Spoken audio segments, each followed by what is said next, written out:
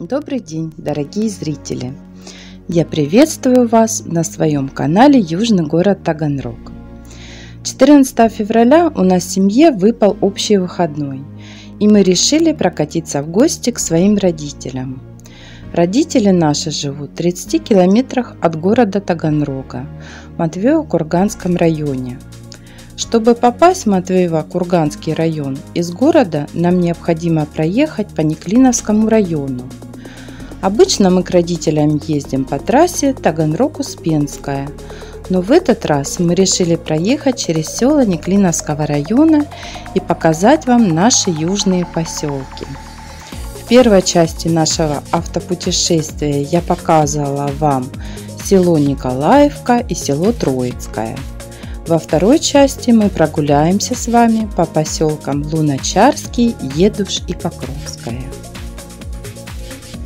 Итак, выезжая из села Троицкого и переехав по мосту через реку Меус, мы попадаем в поселок Луначарский, который относится к Троицкому сельскому поселению.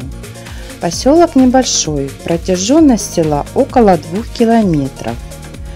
Численность населения всего 172 человека.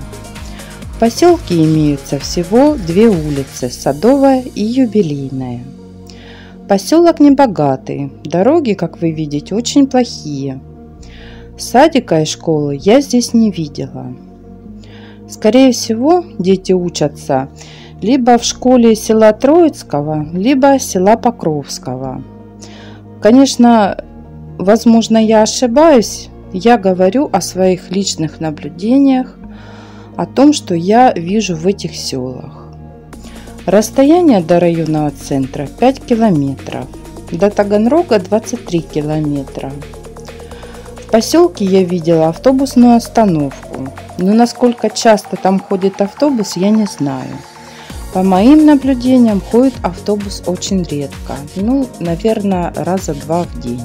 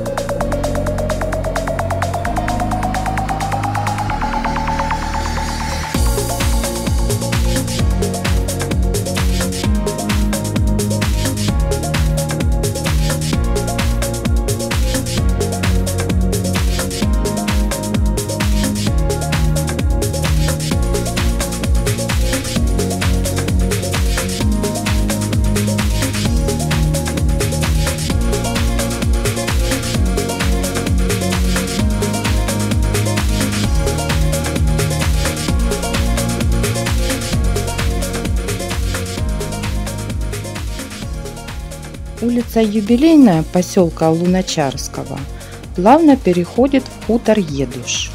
Иногда даже непонятно, где заканчивается один поселок и начинается другой. Из одного поселка в другой можно дойти пешком, ну практически идя все время по улицам. От поселка Луначарский до хутора Едуш всего 1 километр пути.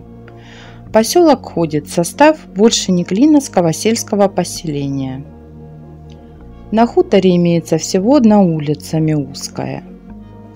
До районного центра села Покровского 3 километра, до города Таганрога примерно 25 километров. Хутор небольшой, население всего 130 человек. Школы и садика в хуторе нет.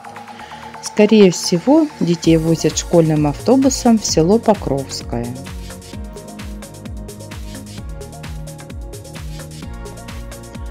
Работы в этих двух поселках нет. На работу надо ехать либо в районный центр село Покровское, либо в город Таганрог. Добираться, конечно, в город довольно-таки проблематично, так как прямого транспорта в город нет. Сначала надо добраться до села Покровского или до села Троицкого, а оттуда уже можно уехать в город. В общем, без машины в этих хуторах никуда – есть еще в хуторе Едуш кирпичный завод. Но, честно говоря, не знаю, рабочий ли он. Кажется, он закрылся уже. По крайней мере, вид у этого завода как у заброшенного.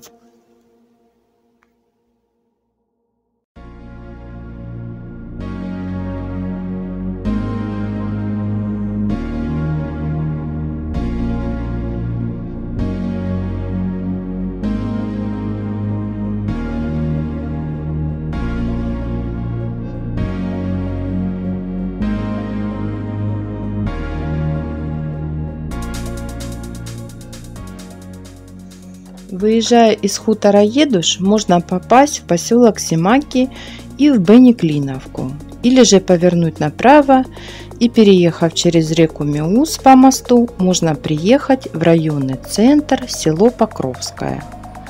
В поселок Симаки мы решили не ехать, так как нам нужно было попасть э, на федеральную трассу в Матвео-Курганский район. Поэтому мы поехали в сторону села Покровское – выезжая из которого, проехав пару километров, мы попадаем в Матвеево-Курганский район.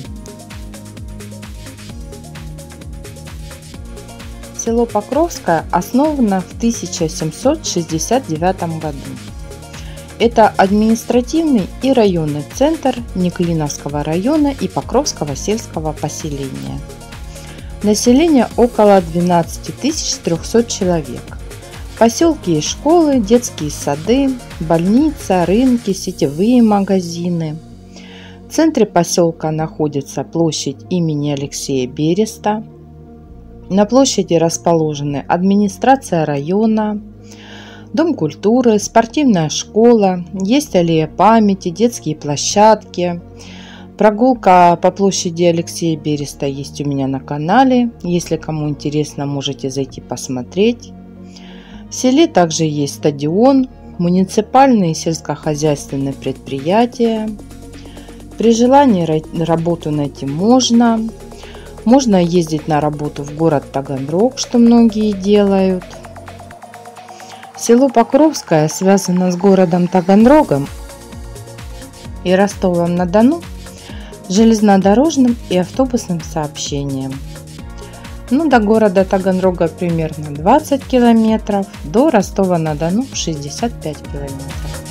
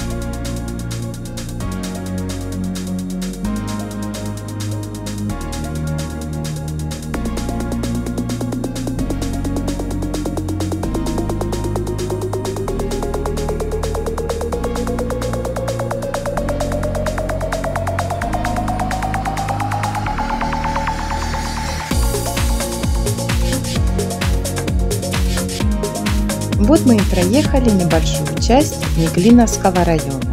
Всего 30 километров пути. Сейчас мы с вами поднимемся на высокий холм и уже окажемся в Матвеево-Курганском районе. На этом я заканчиваю наше автопутешествие. Подписывайтесь на мой канал, ставьте лайки. Пока-пока.